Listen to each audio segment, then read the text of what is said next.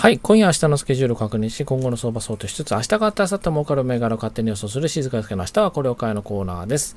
えっ、ー、と、今夜、特にありません。アメリカがお休みですんで、キング牧師の誕生記念日ということでお休みです。なので特にありません。決算発表も特に注目どころありません。上松翔、上松、上松商事でしたかね。もうちょっとよくわかんないんで、パススルーです。明日、えー、22日式、えー、日銀金融政策決定会合が開催されます。23日に結果発表ですね。12月、首都圏マンション販売件数も発表になります。国内の決算アップ、元気トラックがもうすでに業績予想の、えー、修正が発表されてますんで、ここでは何が発表されるかっていうと、まあ、ある程度出尽くされている話なんで、決算表とともに逆に買われてくるかもしれないですかね。厚生証券、東京製鉄、スーパーツール、両毛システム。ここは結構悩んだところで、まあ、現金ドラッグはちょっともう出尽くした、現まあ、出尽くしたから買いっていうパターンはいいんですけどね、ちょっと一応パスして、で、厚生証券、うん、証券はここで、東京製鉄、鉄はちょっととか、スーパーツール何っていうか、両毛システム、社債向けのシステムだとな、ちょっとなっていう感じがあったんで、まあ、やむなく、ちょっとどっか行きたいんですけどね、一応パスさせていただきます。ダボス会議が開催されます。1月25日までですね、そしてドイツ ZEW 景況指数、えーえー、アメリカ12月の中古車、中古中古住宅販売と、え、発表になります。そしてアメリカ決算発表、IBM、ジョンソンジョンソン、スタンレイ・ブラックテッカー、えー、ハリバートン、プロロジス、トラベラーズの決算発表があります。ということでありまして、で、その推奨銘柄がないので、今年の、えっ、ー、と、今年の推奨銘柄に惜しくも漏れたもの中から、はい、一つまたご紹介しようかなと思いまして、やっぱりいつもこれもしょあの、明日はこれを買いのところとかでもよく注目しているところですが、CTC、伊藤忠テクノソリューションズですね。今日はマイナスになってますが、えー、です。ちょっと長い、これ6ヶ月ですが、ちょっと長め、1年こんな感じ。まあ、行ってこいなんですよね。2年だとだいぶいいかなって感じですかね。週足でもうちょっと長く見てみましょう。5年、これなん、どんぐらいだろう？まあいや、3年。で、5年ぐらいにするとこんな感じになります。だいぶ上がってきてるねっていうところですね。えー、でありまして、えー、まあ、文字通り、糸中の子会社ではあるんですが、まあ、いわゆる SIR の大手ですね。で、CTC ってなんで CTC っていうかっていうのが、あのもともと伊藤忠データシステムっていう会社から始まって、で、それがその後社名変更して伊藤忠テクノサイエンスっていう会社名になってし、で、それが中米伊藤、伊藤忠米さんがね、始めた伊藤忠ですんで、で、中米伊藤サイエンスコーポレーションの略だそうです。えー、と、まあ、後々その CRC ソリューションズっていう会社が合併して、伊藤忠テクノソリューションズになるんですけど、まあ、そんなことです。で、その CTC からスローガンも Challenging Tomorrow's Changes っていう風になってまして、まあ、伊藤忠のなんか、何かを見るとそういう Challenging Tomorrow's Changes って書いてあります。ちょっとなんか、今一つ、こう、テンポのよくね、スローガンだなと思ってますけど、まあ、そんなことだそうです。で、その SI の業界っていうところで言うと、まあ、業界トップはもう NTT データですね。データって何番でしたかね。そうですよね。NTT データ。あ、そう、全然違うんだ。ここがまあ業界トップになります。で、その次いで野村総研とかなりますが、一応売上高の規模で言うと第3位になるんですかね。野村総研が2位です。野村総研はやっぱりま野村向け、金融向けのシステムが強いっていうことと、やっぱりあのセブン銀行をね、全部持っていけたっていうのは強かったのかなと思ったりしておりますが、で、CTC ですね。まあ、ここ結構、あの、IR 活動一生懸命やったりとかしてるんで私は好きなんですけど、まあでも SI は結構全般ちゃんとやってますけどね、データもやるし、野村証券もちゃんとやるし、っていう感じではありますが、えー、好きなところであります。あとは TIS とか、あれ出ないや。TIS っていうので出なくなったん TIS って上場してない？そんなことはないですね。あれ？あこれこれこれ。はい。TIS ですね。がとかあと SCSK これはもうよくダメだと私が言っている。別にいい会社なんですよ。いい会社なんですけどね。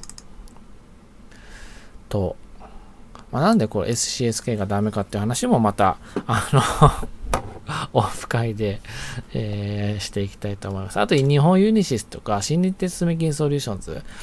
あの、新日鉄住金ソリューションズも名前が変わりますんで、皆さんご注意くださいね。NS ソリューションズ。あだと出ないんだ。あめんどくせえ。えっと、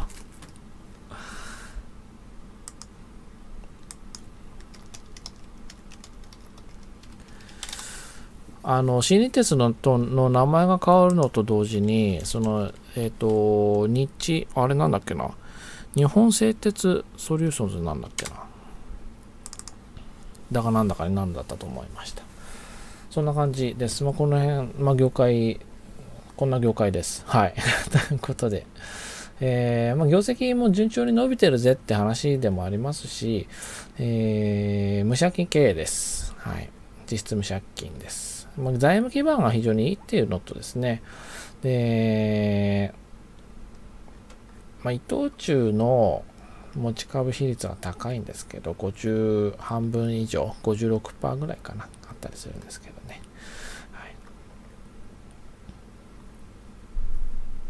はい、技術力が高い、そんなところに魅力があるところであります。その心理手積金向けが大体2割ぐらい売り上げ。そんなにね、なんか株いっぱい持ってる割にはあんまりあの協力してくれないって言ってました。はい。だそうですよ。えー、そんな感じであります。こんなもんかな。はい、あとはまあ当然大手の企業への導入も強いし、えー、まあ、銀行統合案件とかね、その辺もまああったりとか、あと証券向けとか、その辺があったりとかして、まあ、いいとこですよっていう感じですかね。新日鉄住金ソリューションズ。あ、違う違う、新日鉄住金ソリューションズじゃない。えっと、じゃあ話したかったのは CTC の話をしたかったんですね。いつからかこっちの話になってしまいましたけど。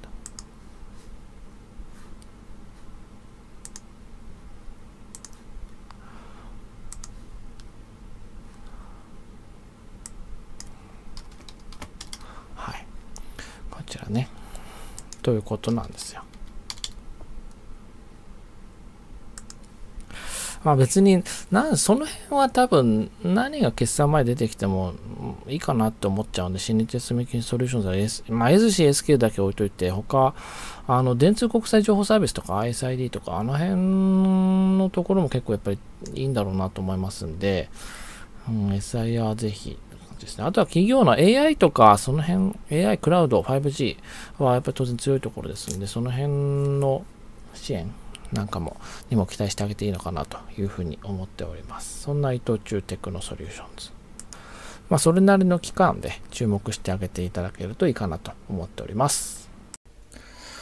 では、明日の個別材料を見ていきましょう。結構いい材料が今日多いですね。こっち行っときゃよかったかっていうそんな気になりますが。えー、マージャントバンカーズ、えー、中国でのマンション開発でマンカーグループでいいんでしたっけ？と業務提携を発表しております。最近戻ってきましたね、マーチャントバンカーズ。そして GMO クラウド、18年12月期終わった期の業績予想の修正です。営業利益の予想で11億6700万円と、え予想しておりましたが、これが13億8700万円に情報修正、前期比10%増と見込んでおりましたが、30.7%増に、え増額という形になっております。やっぱり強かった。GMO クラウドは確かに、いや、強えだろうなと思っていたんですが、ちょっとスルーしてましたね、この辺ね。すっかり忘れていた。デルタフライ、デルタフライファーマ、えー、抗がん剤候補化合物 DFP14927 が、アメリカで第1フェーズの臨床試験の実施を許諾されたということであります。続いて、ウィルグループ。えー、シンガポールの CCG 社を孫会社化するという発表を行っております。続いて、パートナー、パートナーエージェント。えー、子会社ライジングがスマコンを立ち上げたメイション社の株式を取得する。スマコンってありますよね。うん、マッチングアプリなのかな。はい。ソフト、え、富士ソフトサービスビューロー、えー、と、誤請求判明による社内調査委員会設置だそうです。ちょっとこれはいただけないニュースですかね。どうなんでしょうか。続いて、ザインエレクトロニクス。えー、終わった期ですね。こちらも18年12月の12月期の業績予想の修正です。純利益の予想を、えー、3800万円と想定しておりましたが、1億8200万円に上方修正。えー、前期がこれ、えー、赤字でしたね。5億2300万円の赤字でしたんで、えー、黒字幅、まあ、黒字と予想しておりましたが、黒字幅を拡大したという予想になっております。続いて、マネジメントソリューションズ。えー、株式会社試みというところと資本業務提携を行うということであります。何でしょうか、これは。えー、株式会社、試み社は孤独をなくし心がつながるをビジョンに掲げ、対話 AI システムシステム向けソリューションである高齢者会話メソッドの提供、自分施作成サービス及び高齢者向け会話サービスを通し、シニアマーケットでの課題をコミュニケーションの力によって解決するソリューションを開発展開している会社ですということだそうです。うん、ということです。そうですね。心社か、試み社の普通株式を2000万円を上限に取得するということだそうです。それを生かして、えー、B2B 事業の展開の促進ということだそうです。うん、なるほど。まあ、高齢者の方がその今、あの、ロボット、ロボホンとか、アイボとかなんとかでもいい、なんでもいいんですけど、そういうので、なんかこうね、えー、寂しさをこう満たしてくれるような形の、そんなソリューションもね、今広まってますんでね。ということで。えー、っと、えマネジメントソリューションズ。そして次、日本モーゲージ。日本モーゲージサービス。えー、っと、こちら、期末の配当予想の修正ですね。19年3月期の配当、えー、従来10円と予想しておりました。このうち2円が記念杯だったんですが、これ35円に、えー、大幅に情報修正です。で、この35円のうち15円を記念杯と。20円ですね、普通杯。まあ、非常に業績がいいということなんだからなんだか分かりませんが。ということです。続いて、新明和工業。えー、こちらも、えーと、配当予想の修正です。えー、19年3月期の年間配当予想37円と予想しておりました、想定しておりました。えー、が、45円に情報修正ですね。で、37円の時点で14円の増配と見込んでおりましたが、結局22円の増配になると。いうことだそうです。続いて神話。えー、大神という会社を子会社化するということであります。何でしょうね、これは。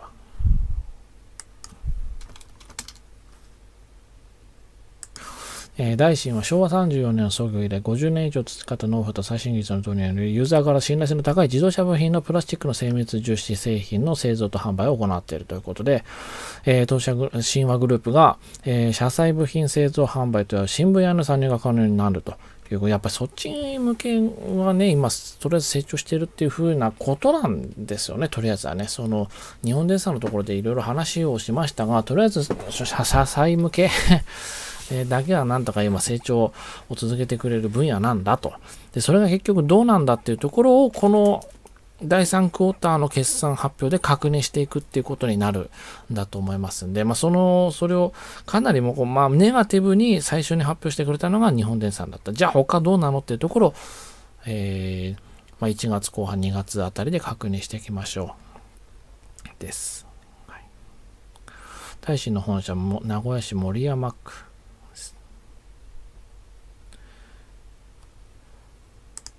だそうです。はい。ということで。えー、続いて、トーテク。トーテクが、えっ、ー、と、業績予想の修正ですね。これが、19年3月期の業績予想の修正。営業利益で47億円と従来予想しておりましたが、52億円に情報修正。前期比4.9%増益と見込んでおりましたが、16.1%増益になるそうです。ということで、なかなかいいニュースが今日は多かったなということで、明日も期待できるかな？どうかな？という感じでありますが、明日の相場想定ですね。えー、見てまいりましょう。あれ、なくなっちゃった。よっ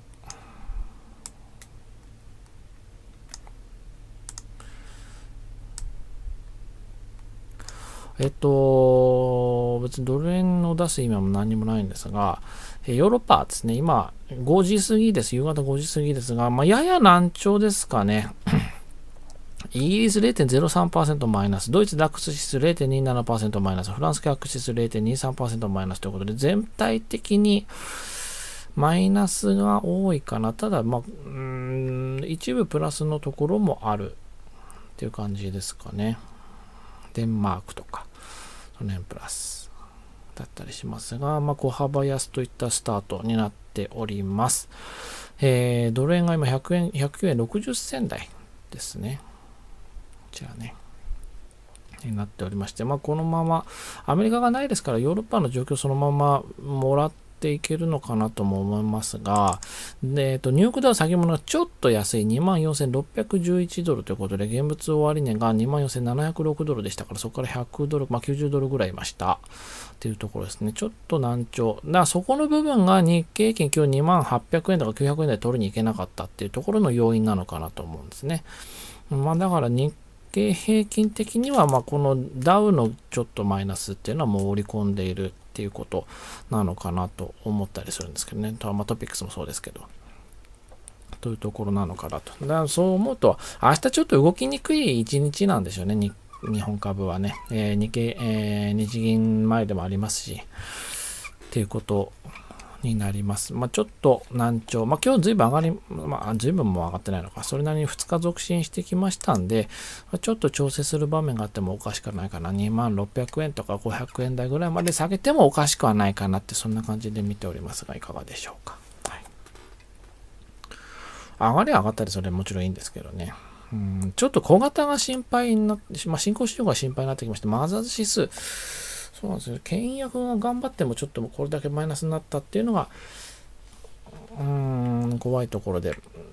結構やっぱりそれなりにぐわっと上がってきましたんで、まあそろそろいっぱいなのかなっていう空気感もいよいよ出てくるタイミングですよね。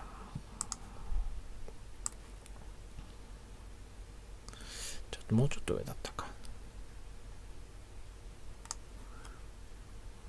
長い足にしますか。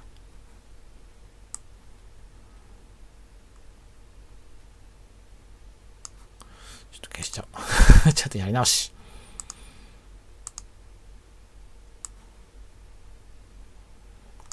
こんな感じで見ると、ちょっともうそろそろいっぱいなのかなっていう感じになるかなと思いますんで。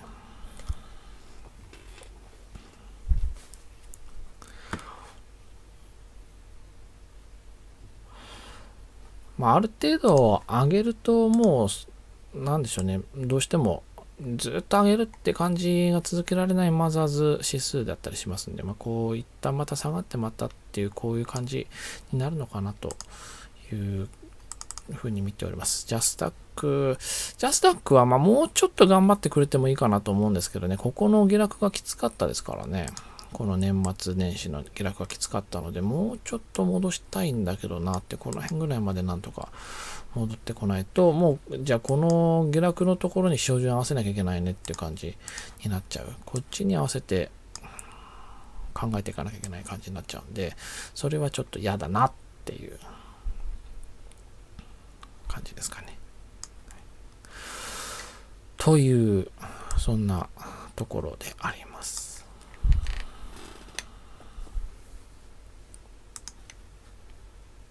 で、ここ直近高値の半値戻しぐらいになったんでしたっけ？これが。